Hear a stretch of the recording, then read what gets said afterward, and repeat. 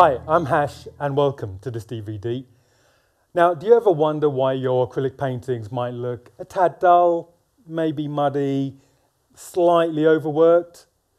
Well, if not, then you can switch off now.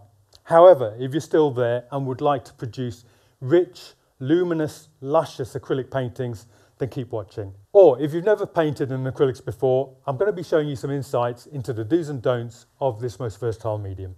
So be prepared to be inspired by vibrant acrylics. Let's paint. Okay, for this landscape, I started with a deep violet mixed with white base, just so it was a light shade of violet.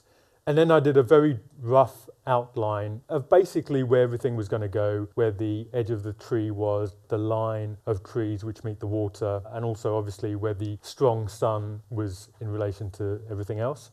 And then I launched in with a loaded brush, lots of paint, and just drag the paint backwards and forwards, diagonally, just to create interesting blends. Lots of warm reds where the sun was, and then lots of cooler colours around the edges. Where they met, there'd be uh, a couple of earthy shades just to bridge the colours together. And then finally, um, the highlights went in, which really created the interesting contrast. And at the very end, the defining strokes really just to tie everything together and just to give a few definition points and to punctuate areas and draw your eye in. Portrait.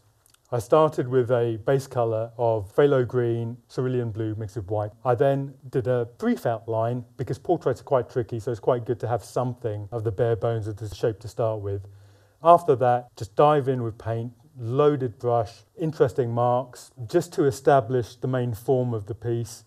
After that, just a couple of tweaks here and there, just for little areas of rich colour. And then I can launch in with strong highlights and really pull the painting together and the last few marks really define the features a little bit more, but hopefully retaining the initial marks, which are still interesting and give an air of spontaneity in relation to the definition at the end.